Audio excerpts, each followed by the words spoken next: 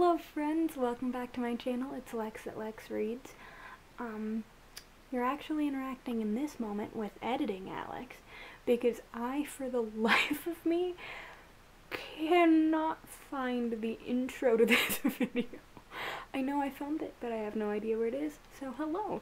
Um, this is this is a really exciting reading vlog. I've been biding my time for this reading vlog for like a minute uh, like a month and a half, two months now. In this reading vlog, oh, I didn't get the books out. I'm sorry, I'll just pop up a picture of them both. I'm going to be reading Lock Every Door and Home Before Dark by Riley Sager.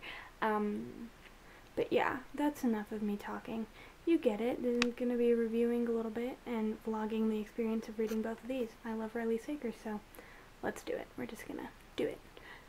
Um, I'm talking kind of quiet because it's 1 a.m. And as I always say in my vlogs, when I talk at 1 a.m., I don't want to wake anyone in my family up. um, I'm about 60 pages into Lock Every Door by Riley Sager, um, which I'm sure you noticed because of the title of the vlog. Um, I really like it so far, which I anticipated because um, The Last Time I Lied is my favorite thriller of all time. And Final Girls is one of my favorite thrillers of all time. And so I'm I've recently become obsessed with Riley Sager. So of course I like this. Why I shouldn't be surprised. Um, I've been told a few times by various people and also booktubers that the Bartholomew is kind of like its own character in this story, and that's one of my favorite things. I also love the like is it or is it not haunted vibe in these kind of thrillers, so I'm really excited to get more into that. Um, something you may not know, I don't know if I've mentioned it already, I don't think I have. I haven't actually filmed my intro yet because I haven't filmed today and I just picked it up after I finished The Guest List by Lucy Foley. Um, but I'm also reading this technically for a secret TBR. so there will be a, couple snippets of this probably in July in a video. Cheers. Hi, I hope I'm in the frame well. Um, I just want to let you know that I'm like 135 pages into Lock Every Door by Riley Sager, and of course I'm obsessed with it because I love Riley Sager. Um, I was surprised that this isn't this isn't really a spoiler um, because it says in the descript like in the sleeve description synopsis thing. Wow, I'm, words are hard today, I guess. Um, but it says on the sleeve that Ingrid disappears after they become friends, but I figured they would be friends for longer than they actually were.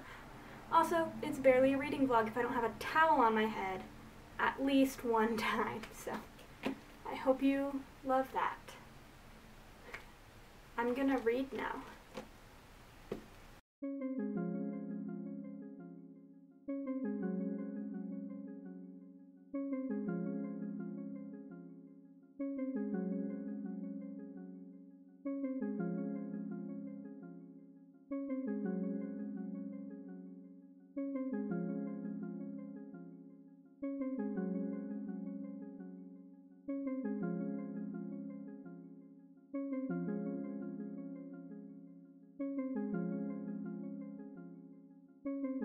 Should mention this because it might be relevant to some of you, but I actually know what the big twist in this book is because I accidentally spoiled myself on the interwebs because spoilers don't bother me very much, um, so I don't always do a good job of avoiding them.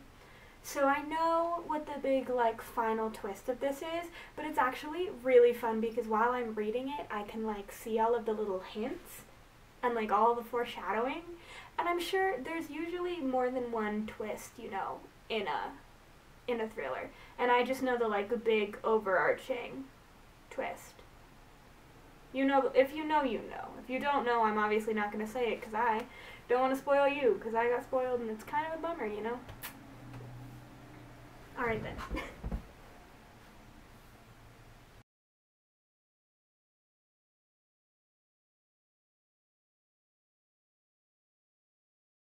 it is nightfall and I've finished Lock Every Door a few hours ago. Um, but I'm gonna wait and talk about it when it's light outside so that we can have a, a better, a more aesthetically pleasing chat about that. Um, I also, I don't know if you can see it, it's chilling over here, started Home Before Dark, but I'm only 20 pages in and it's almost midnight and I haven't written today, um, and I need to write at least 500 words. So, I gotta write. So I don't think I'm gonna read anymore tonight. Gonna give that a breather, pick up Home Before Dark tomorrow. Hello, it's Alex from the future. I just realized that I don't think I ever told you what these books are about, so I'm going to just do that very, very quickly. Lock Every Door is about this young woman in New York City who has just been laid off. She's in a really bad place, and she gets this opportunity to be a house, an apartment sitter basically, at the most like exclusive, sought after apartment complex in New York City. Um, and she moves in and meets a girl, and then the girl goes missing right after they've met, and um, she, our protagonist, is fairly certain that something very sketchy is going up, and then she starts having some weird experiences in the in the apartment complex, and then um, Home Before Dark, we follow Maggie, who is a I think she's about 30, but she's a young woman who, when she was a very little girl, her family moved into this very large, very nice house. They only lived there for 20 days before fleeing and never going back. Her dad then proceeded to write this best selling nonfiction novel about their experience living in a haunted house. Um, Maggie, the protagonist, is fairly damn certain that everything in the book is a lie. And then after her dad passes, um, she goes back to Baneberry Hall to try and uncover the truth. Let's do it. Late, I'm emotionally exhausted. We're gonna read one chapter or for 15 minutes, whichever happens first. 15 minute sprint, go. Um, hello, it's a new day. I was at work most of the day. Oh, my food is overcooking. um, it's like six o'clock. I was gonna make yummy dinner, but I kind of feel like garbage and I think I might be getting a cold. So, we're not doing that. We're doing something easy that I'm gonna read, even though I have a physics test later. I gotta read some because I'm losing it. I'm losing it. I gotta read. I gotta do it.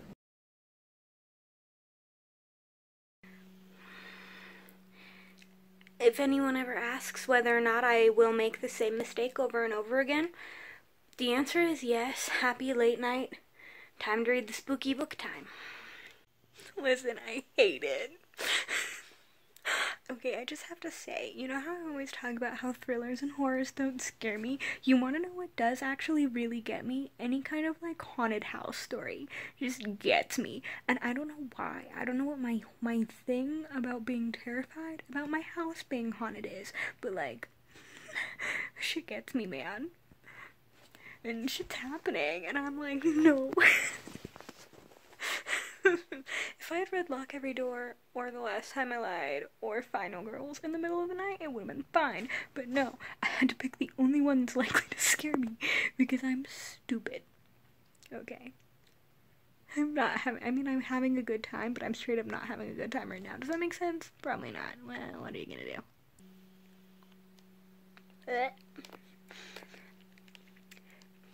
That's basically all I can say without spoiling anything is just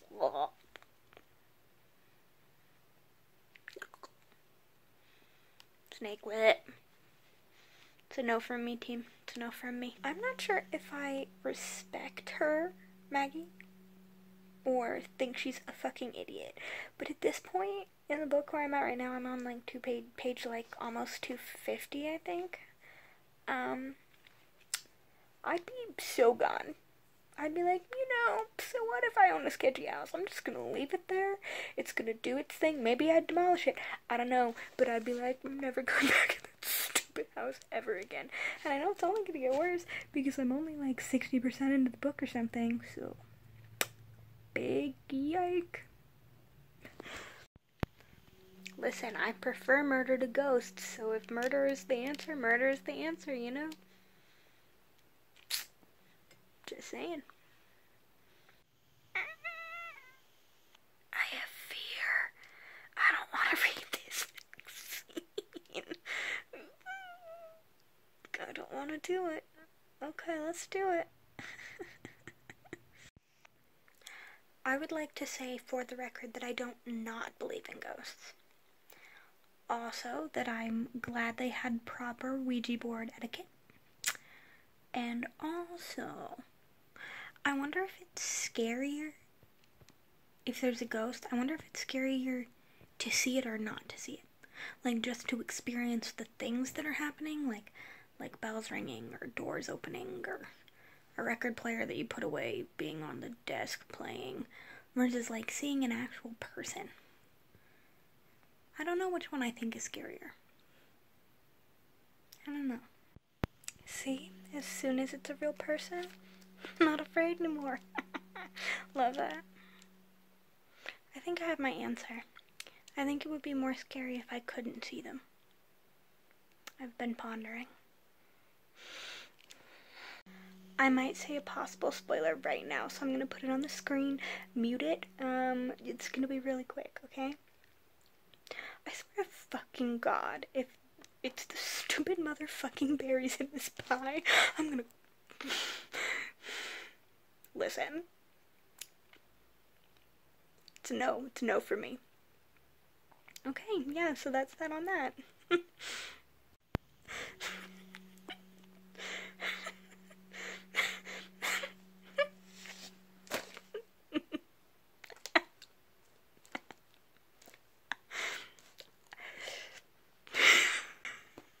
okay, now that I've mostly stopped I can tell you that. See, for some reason, this book was a little bit easier for me to guess than the other two. I'm gonna say two because I knew how Lock Every Door ended, so I uh, knew. So I was like expecting all the twists, you know. Um.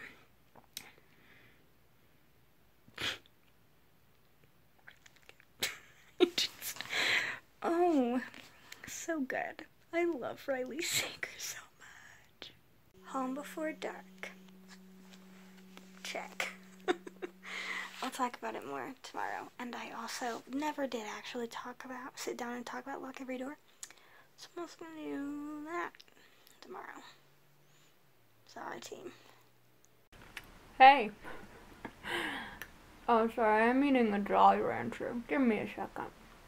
Hello. Um, so I do the thing that I feel like I always do when I'm doing these videos where I'm like, I'll talk about it tomorrow, and then I never actually wrap up the thing I was talking about. So I've now finished both Lock Every Door and Home Before Dark.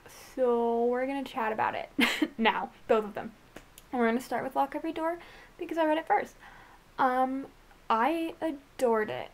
I'm actually a little bit bummed because I think that if I hadn't been spoiled, it might be my favorite Riley Sager, which means that it might be my favorite thriller. But I didn't get to have those, like, holy shit moments that I would have had had I not known how the book ended. Um, I really, really liked it. The main character? I don't even remember anymore been like a week. um, I really like the main character. I really like the story. Um, I've said it before and I'll say it again. My favorite thing about Riley Sager books is how in all of them that he's written so far, we have that like dual timeline thing going on. Sorry, I'm like holding the camera, so if it's moving, it's because I'm just like holding it. Um, so like in Final Girls we had the night of the slasher killing and then current day in the last time I lied we had um, her original first time at camp and then current day. And then in Lock Every Door, what I loved about it in Lock Every Door is it was backwards. Usually we get to see back into the past in all of the like intermittent timeline chapters. But in this one, we start five days in the future. So we see. Okay, so I'm going. I, I said I was gonna have a spoiler free vlog. I'll let you know before if I say anything spoilery. I'll let you know and I'll also pop it up on the screen so that you know how long that lasts. But I'm gonna do my best to avoid any spoilers. So if you've read Lock Every Door, you'll know that you'll know. If you haven't, I won't spoil it. Um, so we get to see five days in the future in the aftermath of the craziness that happens. And another thing that I liked a lot about Lock Every Door is that this one is like a really short period of time. The entire book takes place in a few days which I do typically love that, especially in like whodunits and murder mysteries and stuff. I love it when the whole book is like some hours of time, which it kind of had that vibe. I liked the spooky, but the spooky vibes of the Bartholomew. That's what it's called. Um, I wish Riley had leaned more into the spooky is it paranormal is it ghosts or is it nothing? Because like that it was is one of my favorite things in thrillers is when you're like is it ghosts or is it a person? Is it haunted or is it a person like people? Like the idea of like when you're not really sure if what you're witnessing is otherworldly or of this world, which um, when I get to talking about Home Before Dark, we'll talk about that. But I wish we'd leaned more into that in Lock Every Door. And we didn't, which is okay. There's nothing wrong with that. I just wanted more because everyone always talked about how, like, they liked that part of the book. So I was expecting it to be more than it was. Um, I gave it five stars. I haven't written out my review yet, but I am going to do, I'm really excited for this video. I've been planning this video for a while. I'm going to do a review video where I review all four of Riley Sager's books. Um, so that'll be coming out in the next couple of weeks. But I gave it 5 out of 5 stars. Absolutely adored it. Highly recommend. Moving on to Home Before Dark. Home Before Dark is without a doubt the scariest Riley Sager, um, in my personal opinion. I really, really, really liked it. I adored Maggie. I loved that we heavily leaned into the is it haunted or is it something else? Is it of another world or is it of our own? We leaned heavily into that in this, which makes sense because it's basically a haunted house book I got spooked. As you saw, I kept having to take like TikTok breaks so I would calm down at 2 a.m. when I was reading the book, but it was a blast to read. It's not my favorite of the Riley Sagers, but considering all four of them are four of my favorite thrillers I've ever read, um, it's still it's still very very highly rated in my book. Uh, five out of five stars. God, they're all so close too. For me, it's like the last time I lied, Lock Every Door, Home Before Dark, Final Girls, and they're all like right there. They're so close because I adore them all so much. I love Riley Sager's writing. I love the ambiance. This one is really fun because you know how I was talking about the like flashback um thing that is in all of Riley Sager's book or flash flash forward in the um event of Lock Every Door. This one was fun because if you don't know what this book is about, I guess I never actually said what these books are about. Maybe I'll go back in time and insert this, but um, Home Before Dark is about Maggie, who is a young woman. I think she's about 30. Um, and when she was a little, little girl, her and her family um, moved into this large house called Baneberry Hall they lived there for 20 days, left, never went back, and her dad wrote this best selling non-fiction book about their time there about um, called house of horrors about their experience in this haunted house. And maggie has grown up her whole life. She doesn't remember any of the events of the book so she's like i don't believe any of it's true. And she's fairly damn certain that everything in the book is just straight up a lie um, after her dad dies, she ends up going back to Baneberry Hall to try and uncover the truth. The flashback chapters are literally House of Horrors, so it isn't like Maggie's perspective 25 years older. It's technically her dad's perspective, and it has this like unreliable narrator angle where you're not sure if anything he's written is true or if it's fake which was really fun. I love me an unreliable narrator. I've said it before and I'll say it again. I love a good unreliable narrator. Um, I had so much fun reading it. I loved the House of Horrors chapters really got me. They were like very spooky to me. I got spooked a little bit, but it was fun. It was so much fun to read. Um, yeah, so we had the chapters of House of Horrors interspersed with the current day Maggie trying to uncover the past and figure out what the hell is going on. And it was so much fun. Five out of five stars. Highly, highly, highly, highly, highly recommend. Yeah, I really, really highly recommend. Super good. So good, y'all. Check it out. If you haven't read any Riley Sagers, I recommend all of them. Um, the Last Time I Lied is my favorite but they're all just really stellar.